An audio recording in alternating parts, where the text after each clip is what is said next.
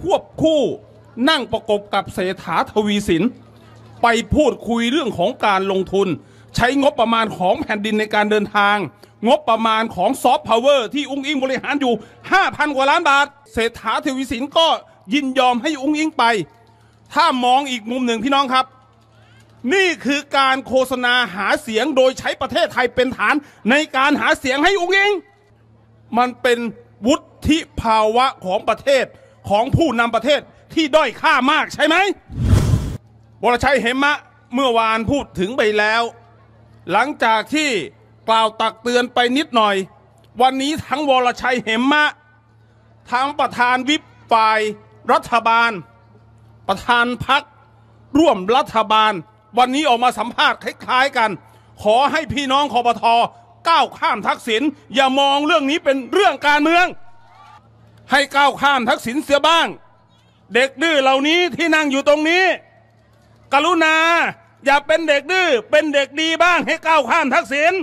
เด็กๆทั้งหลายยอมไม่ยอม ไม่ใช่เรื่องก้าวข้ามทักษิณและไม่ได้ก้าวข้ามทักษิณแต่สิ่งที่พี่น้องประชาชนเขาทักท้วง ก็คือว่าทักษิณเดินทางมา ไม่ได้รับการลงโทษ มารับผิดว่าตัวเองทำผิด แต่ไม่ยอมรับโทษ อ้างว่าป่วยติดเตียง 180 วัน มาวันนี้ทักษิณจะเดินทาง สิ่งที่สังคม และพี่น้องประชาชนเขาตั้งคำถามคือว่า คุณโกหกกระบวนการยุติธรรมมาโดยตลอดใช่ไม่ใช่ เขาไม่ได้บอกว่าห้ามทักษิณเดินทางไปเชียงใหม่เขาไม่ได้ห้ามว่าทักษิณต้องไป ห้ามไหวบรรพบุรุษไม่ใช่ แต่ที่เขาตั้งข้อสังเกตและห่วงใยว่า คุณโกหกสังคมมาโดยตลอด 180 กว่าวัน อยู่ที่บ้านจันทร์สองล่าบอกป่วยติดเตียง มีคณะแพทย์ดูแล อย่างใกล้ชิด คนป่วยจะเดินทางเพื่ออะไร ถ้าไม่มีวาระทางการเมือง คนป่วยจะไปเชียงใหม่ ไปพบเศรษฐาทวีสินวันคืน วันที่ 15ทำไมใช่ไม่ใช่ มันไม่แปลกที่นายกรัฐมนตรีประเทศไทย เศรษฐาทวีสินซึ่งเคยเจอทักษิณมาแล้ว จะไปพบทักษิณชินวัตรอีกรอบที่สองนี่คำพูดของเศรษฐานะ บอกมันไม่ไม่ใช่เรื่องแปลกทำไมพี่น้องหวาดระแวงกันไปมากเหลือเกิน ผมต้องการไปขอความรู้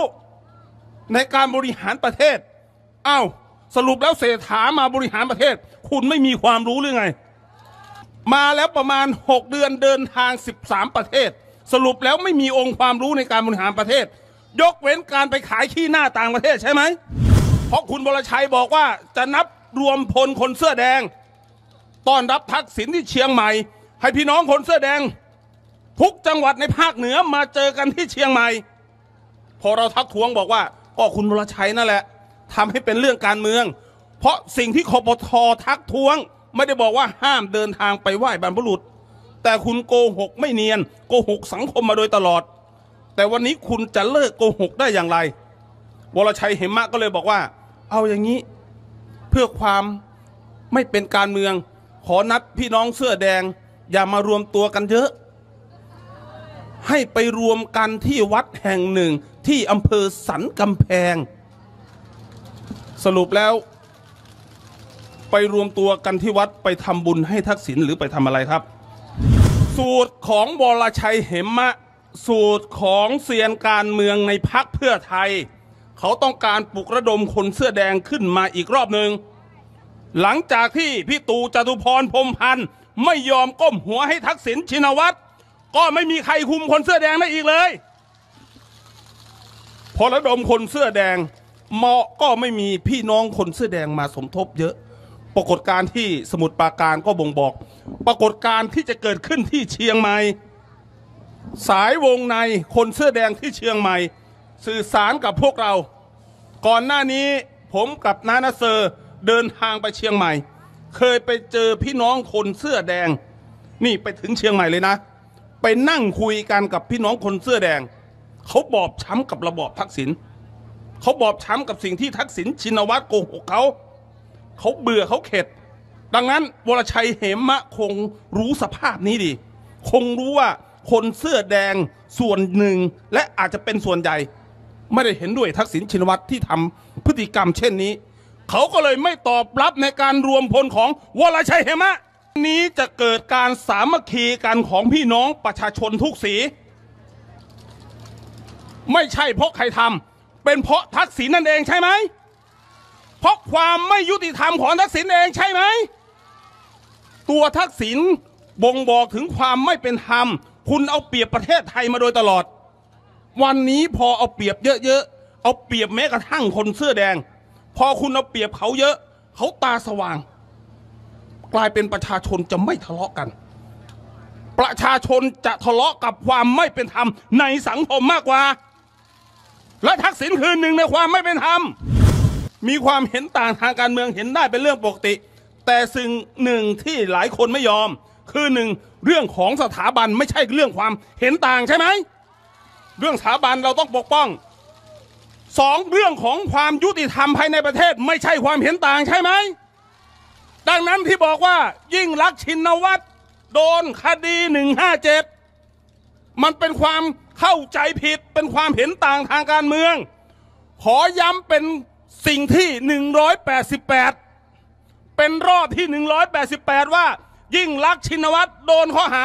157 ไม่ใช่ความเห็นต่าง คุณปล่อยให้มีการโกงก็เท่ากับโกงร่วมกับคนอื่นเขา คุณอย่าคิดว่าคุณมีเสียงในสภา แล้วมันจะทำลายความถูกต้องของพี่น้องประชาชนได้ คุณกำลังดูหมิ่นความถูกต้องที่ประชาชนพูดนอกสภา ความถูกต้องก็คือว่า ทักษิณชินวัตร ยิ่งรักษณ์ชินวัตร ได้ทำลายกระบวนการยุติธรรมไทย โดนคดีแล้วหนีออกไปนอกประเทศกลับมาแล้วไม่ติดคุก ดังนั้นสิ่งที่สสในสภาต้องพูด สิ่งที่สสที่โตมาจากการเคลื่อนไหวของพี่น้องประชาชน ต้องพูดก็คือว่าต้องยืนหยัดความถูกต้องไม่ต้องไปอาย ระหว่างคนที่โกหกกับคนที่เดินพูดความจริง โกหกมันต้องโกหกไปเรื่อยๆเรื่อยๆเรื่อยๆและเรื่อยๆใช่ไหมแต่คนพูดความจริง วันนี้ก็พูดความจริง เมื่อวานก็พูดความจริง พรุ่งนี้ก็พูดความจริง มันเลยไม่ท้อพี่น้องครับ 14 15 16 ทักษิณชินวัตรไปเชียงใหม่ หลายคนบอกว่านี่เป็นเรื่องการเมืองแท้ๆนี่คือเกมการเมืองที่สะท้อน อย่างที่หมอวรงบอกถ้าไม่เป็นการเมืองคนเสื้อแดงจะไม่นัดรวมพลเขาจะไม่เป่าประกาศว่าทักษิณจะเดินทาง เพราะสิ่งที่เขาเป่าประกาศก็เหมือนวันที่ 18 กุมภาที่ทักษิณตั้งใจให้สังคมเห็นว่า เขาออกจากโรงพยาบาลแล้วไม่มีใครทำอะไรเขาได้เลย อยู่ที่โรงพยาบาลวันที่ 18 ออกมา เปิดม่านให้นักข่าวถ่ายรูป เขาจงใจปล่อยภาพออกมาให้สังคมเห็น ว่าเขาไม่ได้เป็นอะไร บวกกับภาพที่อุงอิง ถ่ายรูปพ่อที่อยู่บ้านจันทร์สองล่า นี่คือเขาจงใจปล่อยภาพ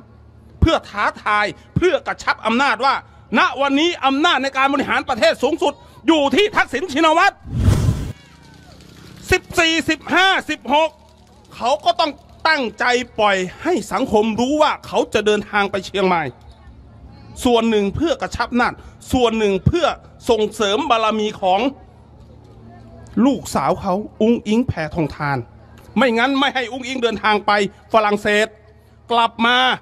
มาที่เชียงใหม่ มาพร้อมเศรษฐาไปพบทักษิณกลับจากเชียงใหม่เดินทางไปกัมพูชาอีก วันนี้เสมือนว่าอุ้งอิงบริหารประเทศ เพราะบารมีพ่อคุ้มกันอยู่ พอพ่อแข็งแรง บารมีพ่อแข็งแรง บารมีอุ้งอิงแข็งแรง มันก็จะส่งผลให้บารมีของยิ่งรักชินวัตรเดินทางกลับมาโดยไม่ต้องติดคุกผมถึงบอกว่านี่คือเกมกระชับอำนาจ สร้างอำนาจของทักษิณไอ้พวกที่บอกว่า จับมือทักษิณเพื่อลบกับคนโน้นคนนี้ พวกนี้เหลวไหลทั้งสิ้น สุดท้ายโดนทักษิณหลอก ใช่ไม่ใช่ ทักษิณจะร่วมมือกับใคร ทักษิณเขาไม่ได้คิดถึงใคร ทักษิณคิดถึงแต่ตัวเองเป็นคนที่เอาเปรียบคนมากที่สุด แม้แต่คนเสื้อแดงเขายังเอาเปรียบ นับภาษาอะไรกับสีอื่น บอกความร่วมมือกับทักษิณคนเสื้อแดงทักษิณยังโกงเลยพี่น้องเอ้ยเขาต้องสร้างบารมีให้อุ้งอิงวิธีการสร้างบารมี ง่ายที่สุดก็เล่นเกมมวลชน เล่นเกมกับฝ่ายการเมือง เล่นเกมกับข้าราชการ และสิ่งที่เขาทำทุกวันนี้ ตั้งแต่ติดอยู่ในเรือนจำยีิบสองกลุ่มยีิบสองสิงหาเขากลุ่มสภาพข้าราชการได้กลุ่มสภาพสำนักงานตำรวจแห่งชาติได้ ต่อจากนี้ไปคือการฟื้นคืนของระบอบทักษิณรอบสองและรอบนี้จะยิ่งใหญ่กว่ารอบที่หนึ่งดังนั้นมีพี่น้องประชาชนนี่แหละ ที่ยังตื่นรู้และเข้าใจสถานการณ์อยู่ เราต้องยืนหยัดเอาทักษิณชินวัตรเข้าสู่กระบวนการยุติธรรมคืนให้ได้ สิ่งที่เราต้องยืนหยัดคือพูดความจริงให้มากที่สุด อาวุธของพี่น้องคือความจริง หลายคนถามว่า เราจะนั่งพูดอยู่ตรงนี้ไปนานเท่าไหร่ทำไมไม่บุกนู่น ไม่บุกนี่ไม่บุกเลยทำไมไม่บุกคำเนียบ ไม่บุกไปการสองล่า บุกไปก็พ่ายแพ้ บุกไปก็พ่ายแพ้ แต่ถ้าพูดความจริงยังไงก็ชนะ ผมบอกแล้วว่า นี่คือเกมยาว นี่คือการต่อสู้ระยะยาว และอาวุธคือความจริง การออกอาวุธคือความจริงของคอปทกองทัพธรรมและสปปสถ้าไม่เป็นความจริง ถ้าเขาไม่สะทกสะท้าน เขาจะตอบโต้เราทำไมใช่ไหม เข็มของความจริงมันไปทิ่มต่อมโกมของเขาไง ต่อมโกงของเขามันถูกเข็มแห่งความจริงของเราไปเท่ม